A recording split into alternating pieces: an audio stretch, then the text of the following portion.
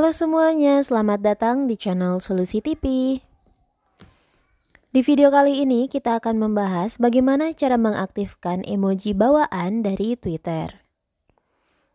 Sebelum lanjut ke videonya, jangan lupa di subscribe dan juga nyalakan tombol lonceng notifikasi agar kalian tidak tertinggal oleh video-video terupdate dari Solusi TV. Oke deh kalau gitu kita langsung aja ke videonya.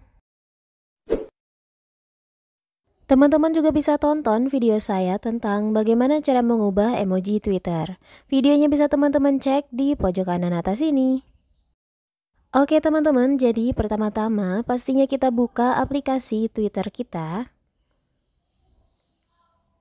Setelah itu teman-teman bisa pergi ke pojok kiri atas yang gambar profil kita ini ya teman-teman kita klik di situ. Setelah itu kita pilih settings and privacy atau pengaturan dan privasi. Lalu di bagian general, teman-teman bisa pilih display and sound, tampilan dan suara. Nah, di situ di bagian display ada emoji ya, teman-teman. Di sini sudah aktif. Di sini saya menggunakan emoji bawaan Twitter bukan dari handphone.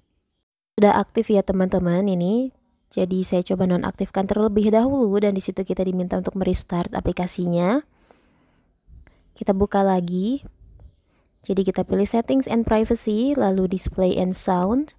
Di bagian emoji kita bisa langsung hilangkan centangnya terlebih dahulu. Lalu kita masuk lagi. Kita pilih di bagian settings and privacy lagi.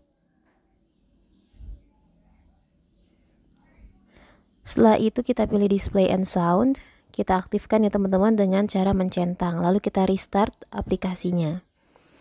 Nah teman-teman ini untuk dari handphone saya sendiri itu tidak mendukung atau tidak support ya teman-teman untuk mendapatkan emoji bawaan langsung dari twitternya.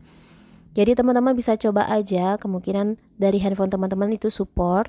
Tapi di sini saya memberi contoh di HP saya itu tidak support jadi dia tidak muncul emoji bawaan dari Twitternya. Jadi tergantung dari device kita masing-masing ya teman-teman. Gampang banget kan teman-teman caranya, teman-teman bisa langsung coba aja. Oke semuanya, itu dia video kali ini bagaimana cara mengaktifkan emoji bawaan dari Twitter. Semoga membantu. Selain video ini, saya juga membuat video tentang bagaimana cara mengatasi gagal memverifikasi nomor handphone di Twitter. Videonya bisa teman-teman cek di link deskripsi di bawah sini. Jangan lupa like dan subscribe untuk terus dukung channel Solusi TV agar bisa terus berkembang dan memberikan solusi-solusi menarik lainnya. Terima kasih sudah menonton dan sampai jumpa.